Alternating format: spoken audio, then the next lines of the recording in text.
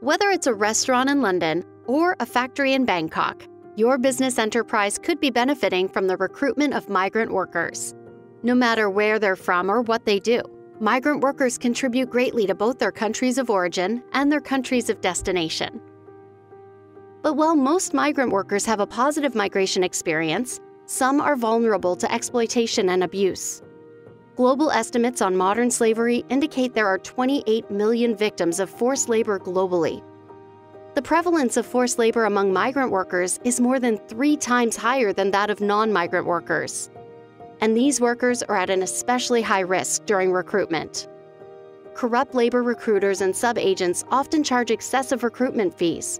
Migrant workers might sign employment contracts with exploitative terms and conditions.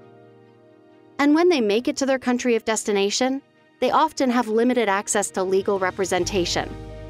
But now, businesses can find support with the Fair and Ethical Recruitment Due Diligence Toolkit. It was developed in consultation with experts and practitioners in labor migration and human rights due diligence and tested in the global supply chain.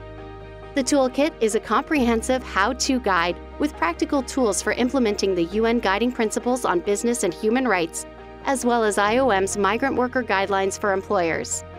It follows the OECD Due Diligence Guidance for Responsible Business Conduct framework. It can help you to create or improve your due diligence process. Due diligence is an ongoing risk management process in which businesses identify and address any adverse human rights impacts in recruitment activities.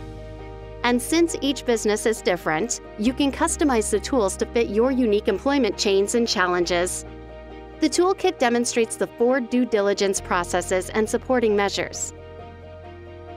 Even with the best intentions, complex supply chains mean that businesses may cause, contribute to, or be directly linked to human and labor rights violations of migrant workers. But with an effective due diligence process, your business can uphold international standards for fair and ethical recruitment, protecting and empowering migrant workers throughout your supply chain.